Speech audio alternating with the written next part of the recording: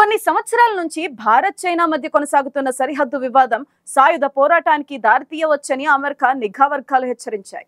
గత కొన్నేళ్ళ నుంచి సరిహద్దు ఘర్షణలు చోటు చేసుకున్న ఇరుపక్షాలు వారు భారీ స్థాయిలో సైనికుల్ని మోహరించడం ఇలాంటి టైంలో చోటు చేసుకునే అపోహలు సాయుధ ఘర్షణకు ప్రేరేపించే అవకాశం ఉందని పేర్కొన్నాయి.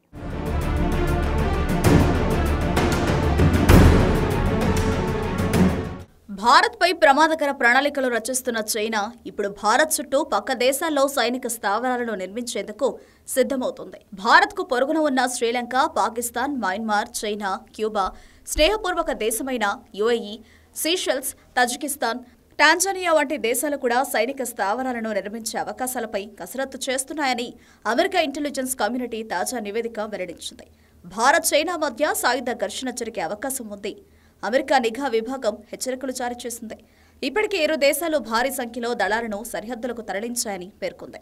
ఇరు దేశాల ద్వైపాక్షిక సంబంధాలు ఇబ్బందికరంగానే ఉంటాయి. సరిహద్దు వివాదం దీనికి ప్రధాన కారణంగా నిలుస్తుంది. రెండు వేల ఇరవై తర్వాత సరిహద్దుల వద్ద చెప్పుకోదగ్గ ఘర్షణలు చోటు చేసుకోలేదు. కానీ దళాలను మాత్రం భారీగా మోహరించారు.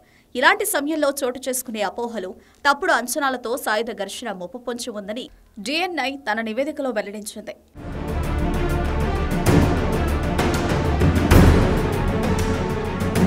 డ్రాగన్ సైబర్ ఆపరేషన్లకు కూడా పదును పెడుతుందని అంచనా వేసింది.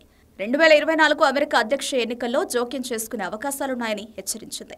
రెండు వేల ఇరవై ఘర్షణ తర్వాత నుంచి భారత్ చైనా సరిహద్దుల్లో ఇన్ఫ్రా ప్రాజెక్టులను చాలా దోకుడుగా చేపడుతున్నాయని అమెరికా నివేదికలు పేర్కొన్నారు. ఇరువైపులా ఎల్సీఏ వెంట యాభై వేల మందిని మోహరించినట్లు వెల్లడించారు. ఇది మాత్రమే కాదు చైనా అమెరికాను హెచ్చరించడానికి ప్రయత్నిస్తోంది. అందుకే ఆఫ్రికా పశ్చిమ తీరంలో ఉన్న క్యూబా ఈక్వటోరియల్ గినియాలో సైనిక స్థావరాన్ని నిర్మించే అవకాశాలపై కసరత్తు చేస్తోంది. అమెరికా కేవలం ఆఫ్రికాకు అవతల వైపున ఉంది. అందుకే చైనా ఈ దేశంపై దృష్టి పెట్టింది.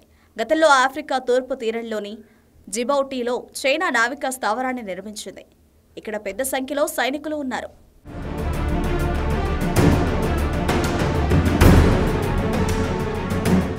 అమెరికన్ ఇంటెలిజెన్స్ కమ్యూనిటీ తన వార్షిక అంచనాలో ఈ సమాచారాన్ని ఇచ్చింది.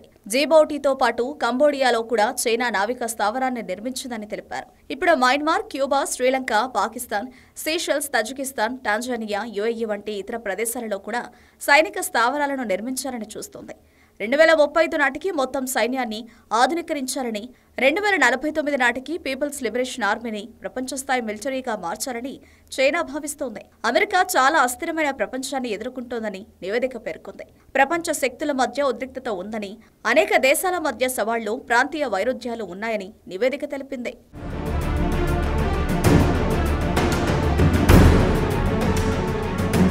ప్రస్తుత అంతర్జాతీయ వ్యవస్థను చైనా ఇరాన్ రష్యాలు సవాలు చేస్తున్నాయని నివేదిక పేర్కొంది. చైనా యొక్క ఈ దశ సైన్యాన్ని మార్చడానికి జీ జిన్పింగ్ ప్రణాళికలో భాగం. ఇది పిఎల్ఏని బ్లూ వాటర్ నేవీగా మార్చాలని కోరుకుంటుంది.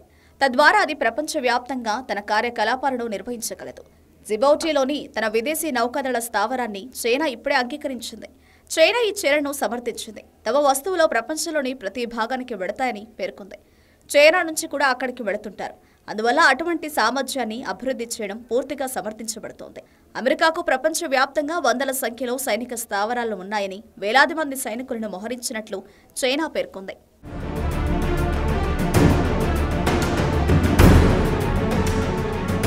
ఇస్లామాబాద్ వైపు నుంచి ఏమాత్రం బలమైన కవ్వింపు చర్యలు చోటు చేసుకున్నా భారత్ పాక్ మధ్య సాయుధ ఘర్షణలు మొదలయ్యే అవకాశాలున్నాయని డిఎన్ఐ రిపోర్టు వెల్లడించింది. భారత్ పాక్ మధ్య ఉద్రిక్తతలు రెండు వేల ఇరవై ఒకటి తర్వాత నుంచి కొంత తగ్గాయి. ఈ సమయంలో భారత్ దేశీయ అంశాలపై దృష్టి సారించగా పాక్ అంతర్గతంగా మిలిటరీ దాడుల కారణంగా ఆందోళన చెందుతోంది. ఈ సమయాన్ని ఏ వర్గం ద్వైపాక్షిక సంబంధాలను బలపరుచుకోవడానికి వినియోగించుకోలేదు. భారత వ్యతిరేక సాయుధ గ్రూపులను బలపరిచిన సుదీర్ఘ చరిత్ర పాక్కు ఉంది. ఆ సమయంలో భారత ప్రభుత్వం ఇస్లామాబాద్ కవ్వింపులు సాయుధ ఘర్షణకు దారితీయవచ్చు అని పేర్కొంది.